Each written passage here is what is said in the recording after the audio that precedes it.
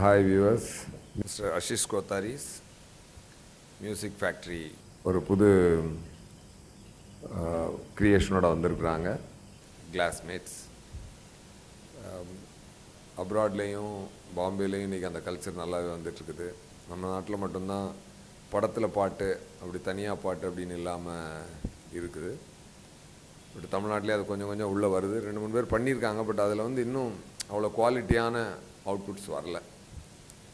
But uh, my friend uh, Mr. Ashish Kothari has produced an album in the in his uh, company called Music Factory. He has chosen a right name and right album. I saw the Vari album. Amazing.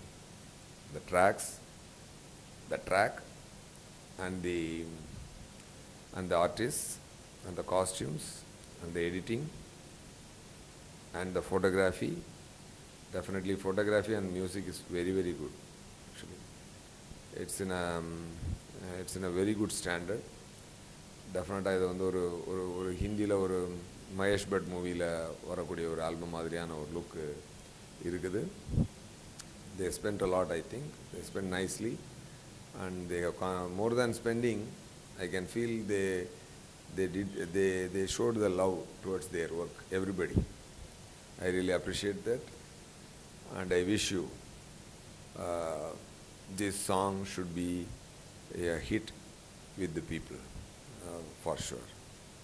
Mm, anyway, all the best, and uh, even some more albums are there yet to be shot. So once it's fully ready, I think people will enjoy this album. So congrats to congrats and all the best to Music Factory and the Glassmates album. Thank you bye. Classmates அப்படின்ற இந்த ஆல்பத்தில் வரியான்ற song melodies ரொம்ப குறைஞ்சிருச்சு சினிமாவில் பொதுவாகவே வந்து பாடல் களஞ்சியங்களில் வந்து melody பாடல்கள் வந்து ரொம்ப கம்மியாயிடுச்சு. காலத்தை தாண்டியும் மெலடிஸ் மட்டும்தான் நிற்கும். குறிப்பாக இந்த மாதிரி ஆல்பம்ஸ் பண்ணுறப்ப என்ன ஒரு அட்வான்டேஜ்னா நமக்கு என்ன ஃபீலாக என்ன எடுக்கணும் என்ன சொல்லணும் அப்படின்னு ஒரு சுதந்திரம் இருக்குது ஏன்னா ஒரு சினிமான்னு வந்துட்டால் கூட ஒரு சுச்சுவேஷன்ற ஒரு கட்டமைப்புக்குள்ளே அந்த பாடல் வந்து உட்காந்துரும் ஸோ அந்த சுச்சுவேஷனுக்கு ஏற்ற மாதிரி தான் ஒரு சாங் பண்ணி ஆகணும் வேறு வழி இல்லை. ஆனால் இந்த மாதிரி ப்ரைவேட் ஆல்பம்ஸ் பண்ணுறப்ப என்ன அதில் ஒரு அட்வான்டேஜ்னா நம்ம என்ன ஒரு காதலை பற்றி முழுமையாக என்ன சுதந்திரமாக சொல்ல முடியுமோ அதை அப்பட்டமாக அப்படி சொல்லலாம். ஸோ அந்த சுதந்திரம் வந்து ஜெப்ரிக்கு கிடைச்சிருக்கு. இந்த வரியான்ற சாங் கேட்க கேட்க அப்படி இருக்குது உள்ளார உள்ளார கொண்டு போகுது நம்மளை வேறு ஒரு இடத்துக்கு.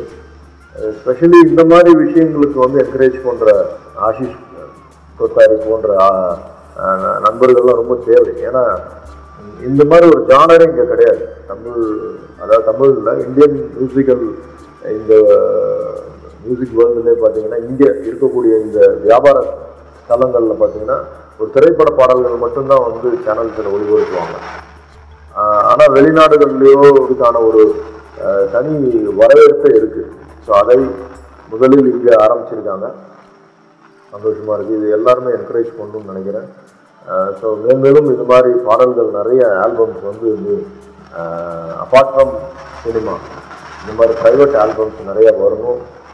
எப்படி ஷார்ட் ஃபிலிம்ஸுக்கு வந்து ஒரு திடீர்னு ஒரு ஒரு திரையுலகத்தில் ஒரு மறுமலர்ச்சி ஏற்பட்டுச்சு. அது மாதிரி இந்த இசை உலகத்துக்குள்ளே வந்து இந்த ஆல்பம்ஸை வந்து நிறைய பேர் செஞ்சு நிறைய வீடியோ ஆல்பம்ஸு இந்த மாதிரி ப்ரைவேட் ஆல்பம்ஸ் நிறையா வரணும்னு நான் ஆசைப்படுறேன். தேங்க்யூ